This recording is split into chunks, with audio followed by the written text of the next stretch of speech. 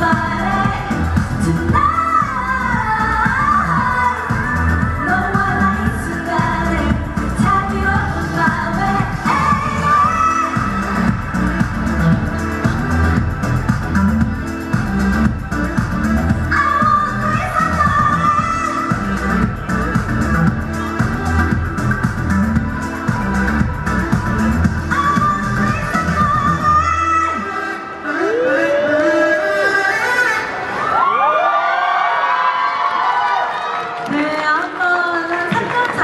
왔어요, 여러분.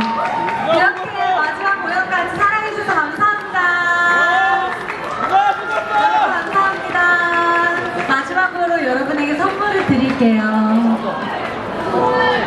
어 뭐야?